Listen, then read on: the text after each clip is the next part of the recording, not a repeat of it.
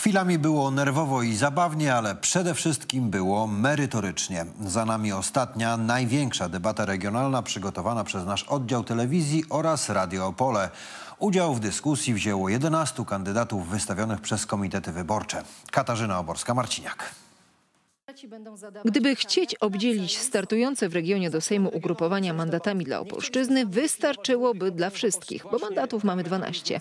Kłopot w tym, że każdy chce z tego tortu uszknąć jak najwięcej.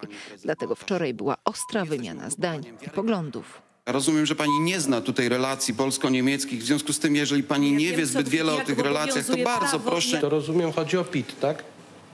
Tak. Tak. Skoro nie będzie PIT-u, e, województwa się rozwiąże. no, no, no, to no właśnie, województwo się rozwiąże, jasne. Było wylewanie żali, Mam pretensje do organizatorów debaty, że nie uprzedzili mnie, że będziemy w kabaretonie występować, proszę Państwa. fakt, elementy humorystyczne też się tu znalazły.